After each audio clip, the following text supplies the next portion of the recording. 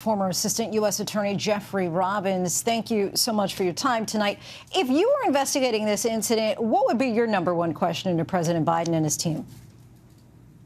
Well, I think you can expect that there are going to be subpoenas aplenty uh, issued by the Republican Oversight Committees recently formed, uh, aimed at um, the former vice president's office, uh, the those who are running this Penn Biden Center, uh, and ultimately a request from the president himself to answer questions before the committee, akin to the request that was made by the January 6th committee uh, to uh, former President Trump.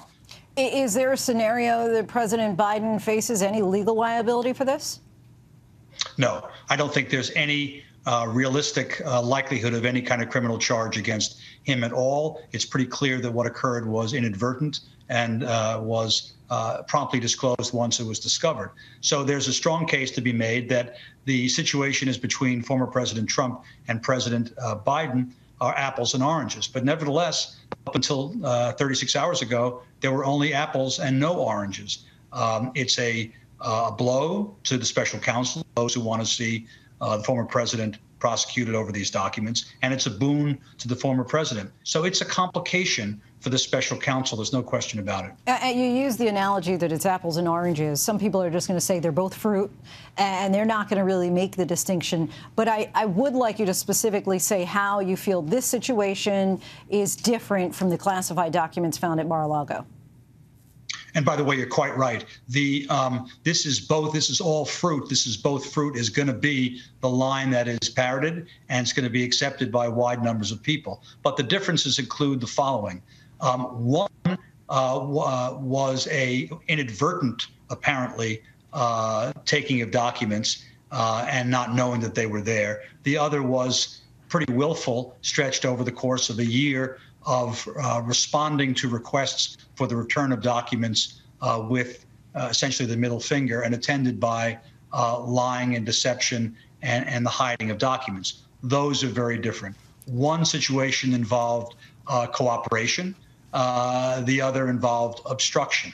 one clearly involved, in the case of former President Trump, the former president knowing about the situation and making a decision to do what he did with respect to the documents, and the other with respect to uh, current President Biden, so far as we know at least, uh, involved no knowledge on his part at all. Uh, you mentioned the word unintentional. You know, some people are going to see, uh, as we were just showing on, on camera, a video of the documents that were in Mar-a-Lago, many of them which had the big red letters that said top secret, right? Or they might say classified or, or confidential, whatever it is. Some people are going to say, how do you take those kinds of papers by mistake? How is this inadvertent or, or unintentional?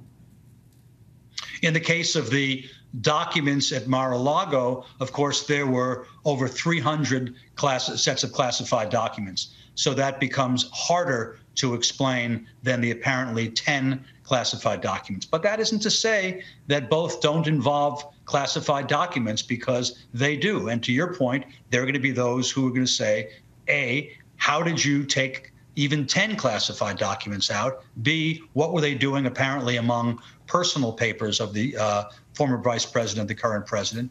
And finally, how is it that they stayed there undetected for six years? And those are, let's face it, legitimate questions.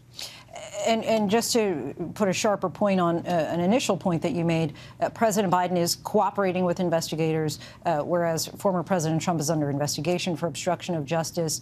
How could that ultimately play a factor in, in how these cases are handled?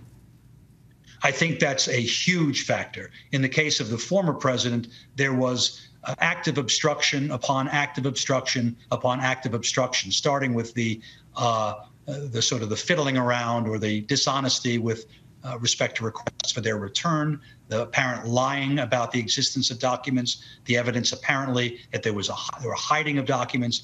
Uh, it is it is a uh, a textbook, seemingly, in obstruction of justice. By contrast, uh, President Biden, by all accounts, uh, he did not discover them, but his lawyers discovered them, and they immediately, and I mean immediately, notified the authorities. So the difference there is very, very significant, and it's the kind of significant difference that could indeed play a big role in the determination to proceed with the prosecution of former President uh, Trump Jeffrey Robbins, always appreciate your time and insight. Thank you so much. Thank you, Linsey. Hi, everyone. George Stephanopoulos here. Thanks for checking out the ABC News YouTube channel. If you'd like to get more videos, show highlights, and watch live event coverage, click on the right over here to subscribe to our channel. And don't forget to download the ABC News app for breaking news alerts. Thanks for watching.